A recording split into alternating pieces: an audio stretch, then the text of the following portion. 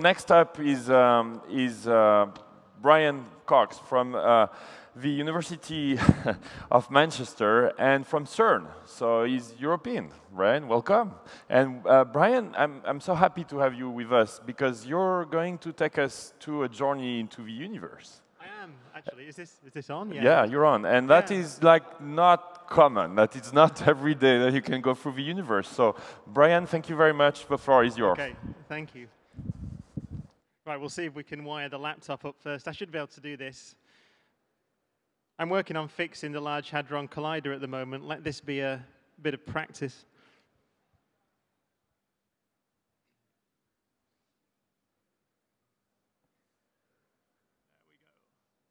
There we go. It's a MacBook Air to go through the universe. That's uh, great. There we go.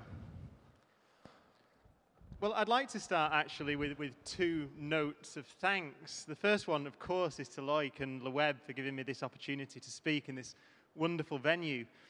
The second one is a bit more special. I actually want to thank uh, Nicole. Did you listen to the podcasts at all that were made previous to this conference? Fantastic podcasts. Uh, Nicole and I did an interview about two or three weeks ago now for that podcast. And we talked about CERN and the Large Hadron Collider and cosmology, the universe. And she said to me at the end of the podcast, Wow, it, it sounds like what you're trying to say is love your universe. And I thought, that's a great idea for a talk. So I changed my talk in keeping with the theme of the web. So what I hope to do in the, last, the next 10, 15 minutes or so is to show you why I think we should love our universe. Simple thing. This is a picture of the universe, actually just a picture of a piece of sky. If any of you do a bit of astronomy, you'll recognize it because that uh, collection of stars up there in the middle is the constellation of Orion. But the reason I want to show this is because I can zoom in on this picture to a piece of sky that was photographed by the Hubble Space Telescope. This is a, a real scale zoom in of that piece of sky. It's about a 50th of the size of a full moon. And you see, it's an incredibly tiny and wonderful picture, still zooming. This is the deepest picture, the picture of the most distant objects in the universe, the deepest picture of the universe. What you can see there is beginning to appear are different colored blobs, cloudy points of light deep within that image. Each one of the blobs of light on that picture turns out to be a galaxy. In fact, in that picture, there are over 10,000 galaxies, each with, on average, 100,000 million stars like our sun in them. If you extend that over the entire sky, we think there are 100,000 million, 100 billion galaxies in the observable universe, each with 100 billion suns. The light from the most distant galaxies in that picture began its journey 13 billion years ago. That's moments, really, about half a billion years after the universe began. The Earth is only 5 billion years old, so you're looking at objects there that were around in the universe, well, 7 billion years before the Earth was formed from a gas cloud. And I've just logged on to a wireless network. Very good. So, I want to show that picture because, first of all, if we're going to love the universe, we need to know how big it is. And I hope you can see from that remarkable picture that the universe is big, possibly infinite in extent. There's possibly a lot more than we can see in that picture, although possibly finite. Actually, as Woody Allen once said, it would be better if it were finite if you're the kind of person who can't remember where they put things. But we don't know yet whether that's the case. My job is a particle physicist. Managed to find out that that universe, the 100 billion galaxies in that picture, and you and me and the Earth and everything we can see in the sky, is made of just 12 particles of matter stuck together by four forces of nature. The one on the bottom left there, the electron, is probably familiar to you. The U and D, the pink ones up there, are up and down quarks that make up protons and neutrons, which make up you. So you and me are made up of just three of those fundamental particles. You see at the bottom it says three generations of matter. nature seems to have seen fit to make two copies of the particles that we are made of. And in fact, every star and planet we can see in the sky is made of. And we have no idea why nature has chosen to do that. All we know is that we think that those three generations were intimately related in allowing there to be any matter at all just after the Big Bang. So the universe is beautiful in that sense. We don't know why that's the case, but it seems to be the case. On the right, in the blue, you see the force carriers. The thing at the top is a photon, a particle of light, which in particle physics we speak of as carrying the force of electromagnetism. There are two other forces on that diagram. The G carries something called the strong nuclear force, which sticks nuclei together, and the W and Z carry something called the weak nuclear force. I want to come back to those a little bit later on. But suffice to say that that's the picture, the building blocks of the universe as we know at the turn of the 21st century. Everything you need to build a universe. And remarkably, we've managed to summarize how all that works in one beautifully simple equation. I mean, it might look like scribble, but actually, that equation describes everything other than the force of gravity. It describes why the sky's blue, why nuclei stick together, why colors are the color that they are, why your body sticks together, all in four lines of beautiful mathematics. And the third line on there is about something called the Higgs particle. So you might have heard of that in the press. It's what the Large Hadron Collider at CERN is built to detect. It's responsible in our beautiful theory for the origin of mass in the universe, but we've not found it yet. That's what the LHC is designed to find. Well, I mentioned the LHC I'm sure, seen this wonderful machine in the press. Its job is to explore the early universe and explore the building blocks of the universe. How does it do that, and why can it do that? Well, this is a picture of the evolution of the universe from the Big Bang to the present day. As far as we can tell, it began 13.7 billion years ago in a very hot and very simple state. And since then, it's expanded and cooled. And we think that the complexity that we see today in the universe, so things like human brains, computers, civilizations, are a property of an old and cold universe. As you look back in time towards the beginning, you find that the universe becomes simpler and easier to understand. And as I've mentioned, we think that it's built of no more than 12 objects. Everything we can see can be constructed in that way. The Large Hadron Collider's job is to recreate the conditions that were present less than a billionth of a second after the universe began, in order that we can reveal, hopefully, that underlying simplicity and better understand the complexity that's emerged in this old and cold epoch. That is a picture of the Large Hadron Collider, 27 kilometers in circumference. It sits below the ground in Geneva we accelerate hydrogen nuclei, so uh, particles called protons, to 99.999999% the speed of light, and we smash them together up to 600 million times a second. And in each of those collisions, we can recreate those conditions that were present in the early universe in order to understand it. This is a picture of the inside of the LHC. Um, many of you may have seen that we had a slight glitch after having a wonderful startup day back on the 10th of September.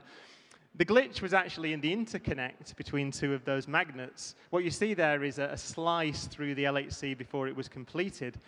The two circular things, actually, the big circles in the middle of that pipe, are the, the beam pipes themselves. They carry the beams of protons, which would actually fit inside something the diameter of a human hair but yet carry the energy of an aircraft carrier traveling at 30 miles an hour. So it's a machine that carries immense power. Um, we had a glitch and we blew one of our magnets up. The latest news that I get is that the magnets will be back in and the machine will be back on at the end of June. And then we'll begin exploring the earliest moments after the Big Bang. So, positive news, at least, from the LHC. The collisions themselves occur in giant cameras. This is the camera that I work on. It's called the Atlas camera. Uh, you may be able to see there at the bottom, actually, um, two EU standard size physicists, the green blob there and the purple blob there, to get some sense of the size of this thing. 44 meters in uh, wide, 22 meters in diameter, weighing 7,000 tons. And its job is simply to photograph those collisions so that we can see how the universe behaved in its earliest times, reveal its underlying simplicity and beauty. This is a very famous picture, I'm sure many of you have seen, of the ATLAS experiment as it was being constructed uh, with a real physicist stood in the middle. In the center of there is where those mini Big Bangs occur. And this is a picture of the end of the ATLAS experiment, actually with me in the white hat stood there next to the LHC. So that tunnel, that blue tunnel, is the thing that extends 27 kilometers out underneath the ground, uh, underneath Geneva and France. And just before I leave the LHC, this is a picture that we all wanted to see and we all saw back on the 10th of December. This is a picture of the first collision in Atlas. So this was one of the LHC beams colliding actually with part of the machine and showering new particles into the Atlas detector. This tells us that the machine works and the detectors work.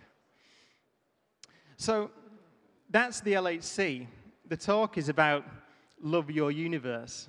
I mentioned that we believe that in the very earliest moments, a billionth of a second after the universe began, it was very simple, and now it's very complex. Where does that complexity come from?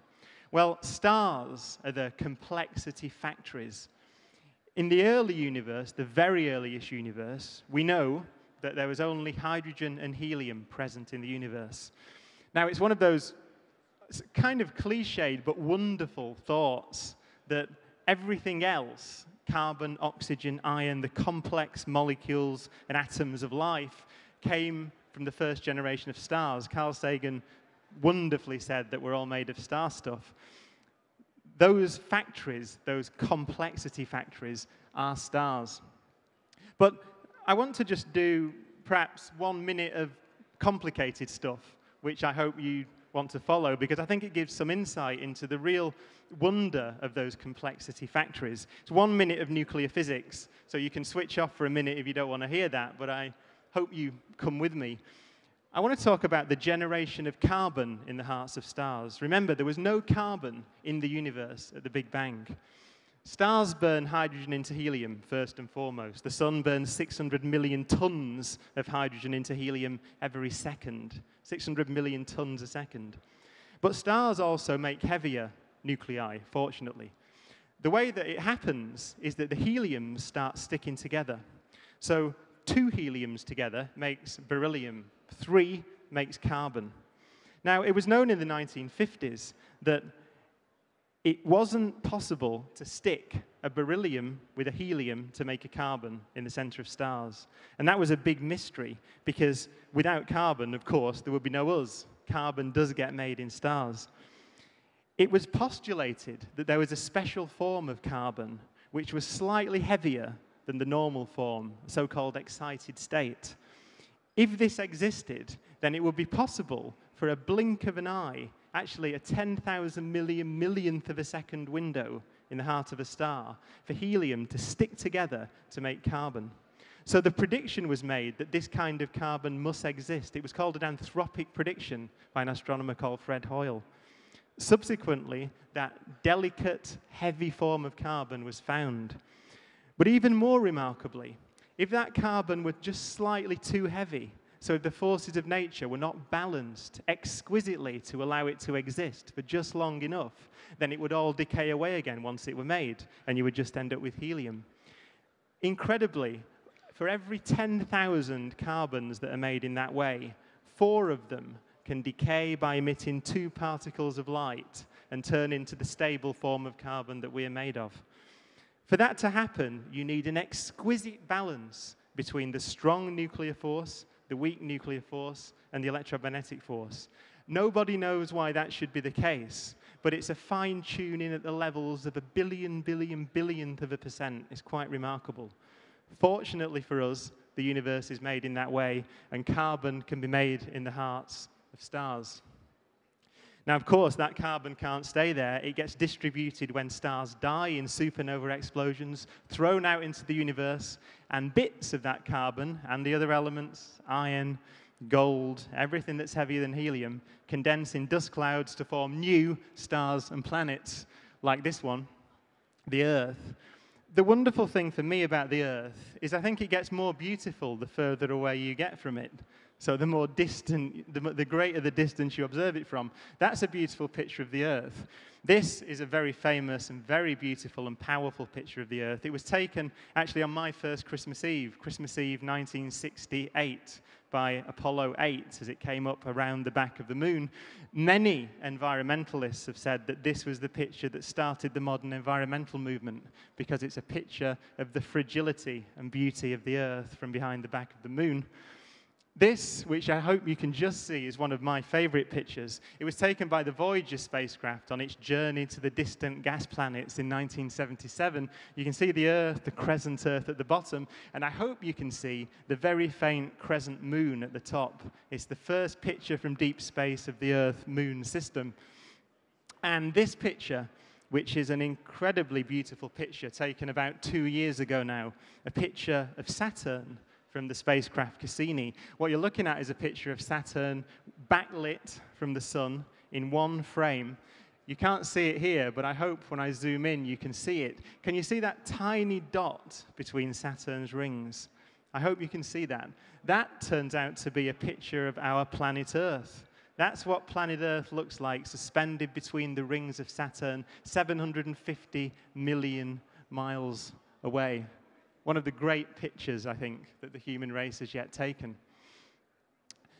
So, the remarkable story we've learned from the machines of modern science is that our Earth is a, is a well, a product of an incredibly delicate and finely balanced series of steps. You need a universe 13.7 billion years old because you need generations of stars to make carbon. That's not the end of the story, though. Of course, on one planet, and only one that we know of, life began. It's the only place we know of in the universe that life began.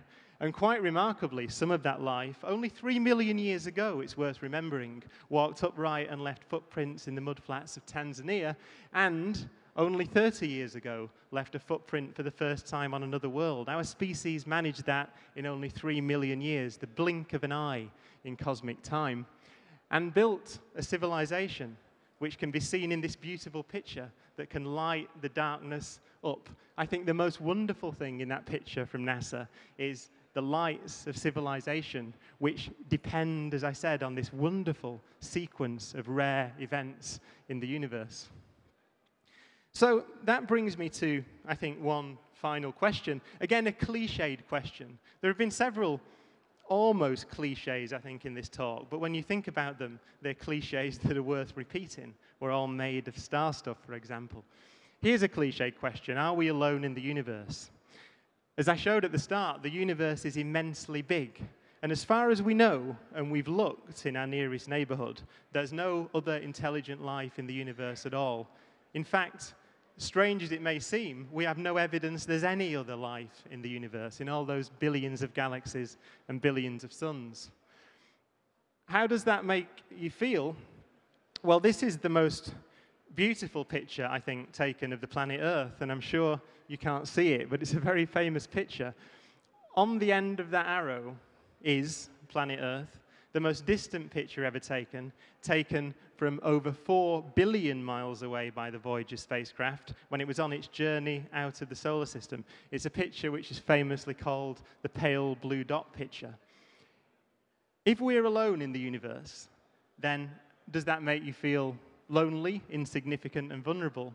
Or does it make you feel extremely special? To me, the question is like asking someone who's walking through a dark forest with the green of the leaves, perhaps no sunlight gets through the canopy, completely dark, and you see on the floor a single red orchid.